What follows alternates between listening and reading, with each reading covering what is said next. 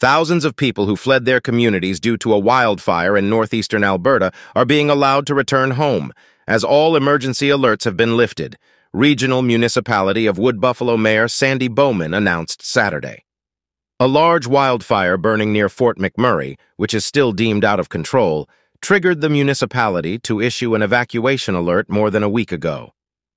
Then, on Tuesday, about 6,600 Fort McMurray residents were forced to leave when an evacuation order was issued for four neighborhoods, Prairie Creek, Beacon Hill, Abasand, and Grayling Terrace.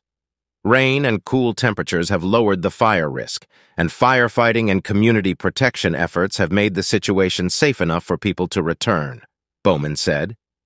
I am pleased to announce it is now safe for us to end the current evacuation and allow people to return to their homes, Bowman said.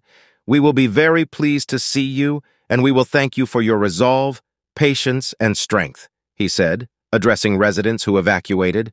Welcome back, and please travel safely.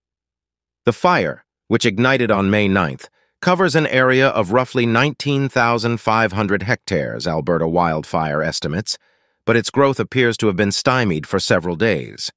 It is burning about 5.5 kilometers southwest of Fort McMurray and 4.5 kilometers west of Highways 63 and 881.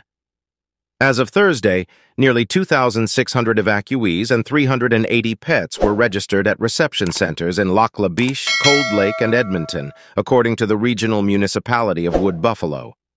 BSP Many other residents left voluntarily when the evacuation alert, which means people need to be prepared to leave on short notice, was first issued in case there was a repeat of the 2016 Fort McMurray wildfire.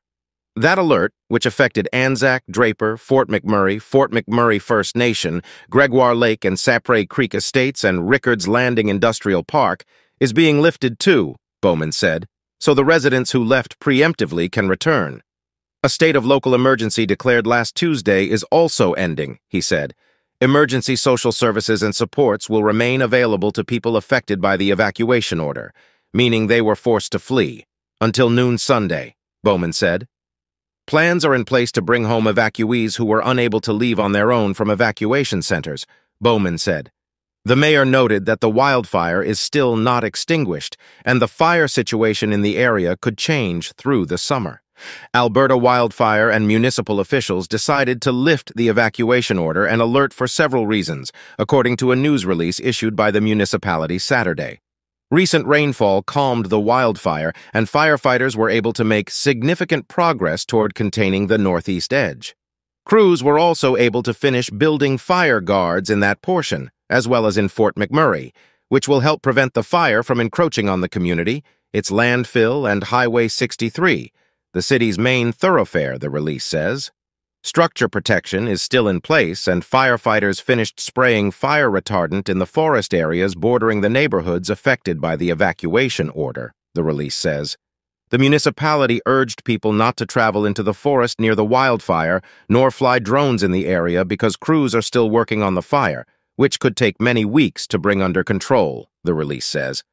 Kindly like, subscribe, and share your thoughts in the comments